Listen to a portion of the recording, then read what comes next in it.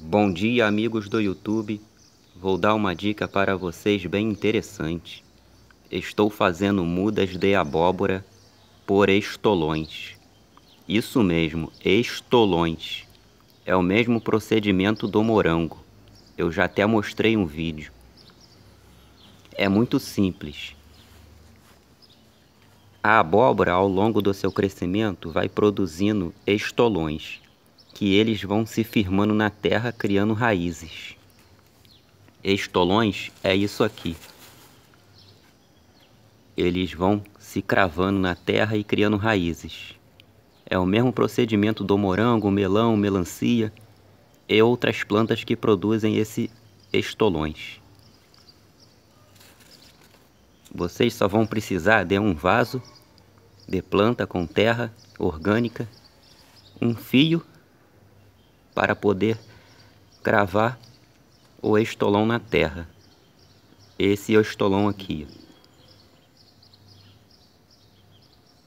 Aí você vai ajudar o galho a ficar na terra, o estolão a ficar na terra. Depois de 10, 20 dias, já está cheio de raízes. Aí você espera mais uma semaninha, mais ou menos, para poder cortar o galho. Olha só o tamanho que eu fiz. Bem grande. Vocês estarão cortando mais ou menos essa parte aqui. Bem longe do estolão. O estolão está aqui enraizado. Vocês cortam mais ou menos aqui.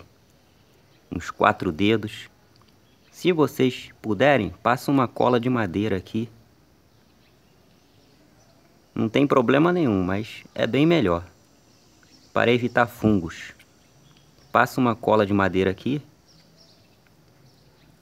Aí vocês terão mudas de abóbora ou qualquer outro tipo de planta que produzem estolão em um vaso.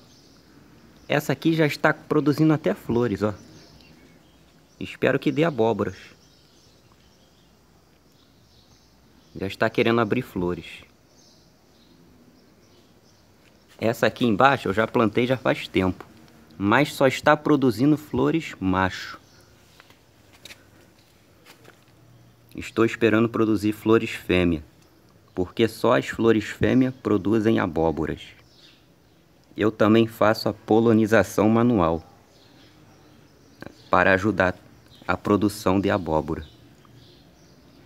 Se vocês gostaram desse vídeo, ajude o canal compartilhem e também se inscrevam. Fiquem todos com Deus.